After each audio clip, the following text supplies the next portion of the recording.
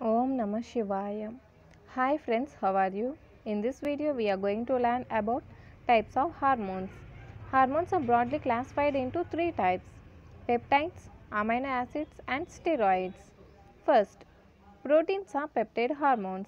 Peptide hormones include a large group of hormones secreted from a variety of endocrine tissues.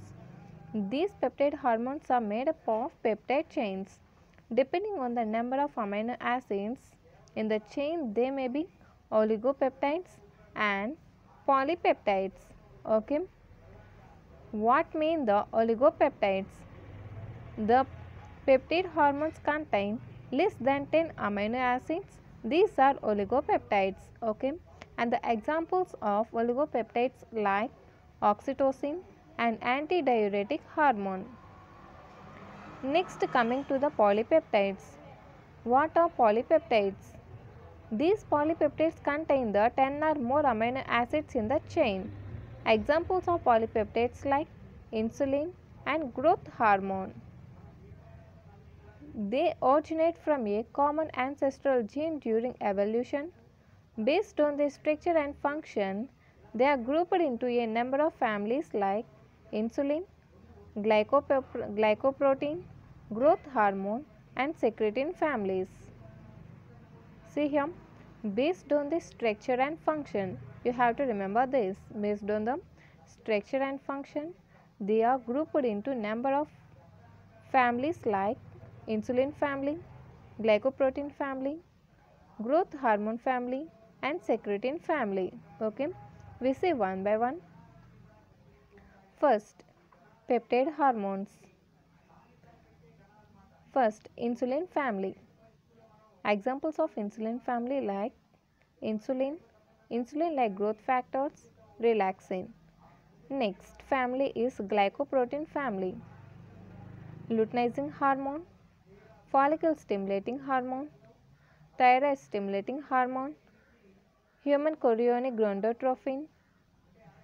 Next, growth hormone family, growth hormone, prolactin, human placental lactogen, secretin family, secretin, glucagon, VIP and GIP. Okay. Next, others are ANP, atrial natriuretic peptide, calcitonin,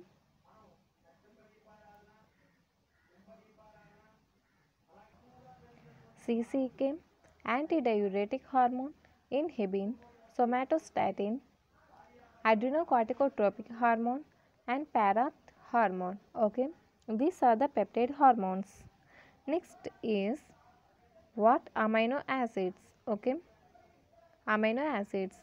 Amino acid hormones are amines. Many of them are derived from a common amino acid. For example, dopamine, epinephrine, norepinephrine, thyroxine are derived from tyrosine. They are usually hydrophilic. See once again. Amino acid hormones. Amino acid hormones are amines. Many of them are derived from a common amino acid. For example, dopamine, epinephrine, norepinephrine, thyroxine are derived from tyrosine. They are usually hydrophilic.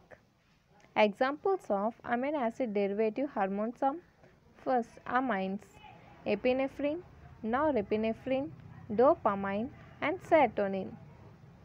Iodinated amino acid examples are thyroxine, triiodothyronine. Okay, these are the examples of amino acid derivative hormones. Next, steroids. Steroid hormones are synthesized from cholesterol and are lipid soluble and hydrophobic. This group includes hormones of adrenal cortex and many gonadal hormones. The biological activities of this group are determined by modification of their side chains, hydroxylation and ring aromatization at various sites. Examples of steroids. Examples Examples of steroid hormones are glucocorticoids, mineralocorticoids, estrogen, progesterone, testosterone, 1 comma 25 dihydroxycholecalciferol. Okay, these are the examples of steroid hormones. If you like my explanation, please like, share, and don't forget to subscribe. Thanks for watching.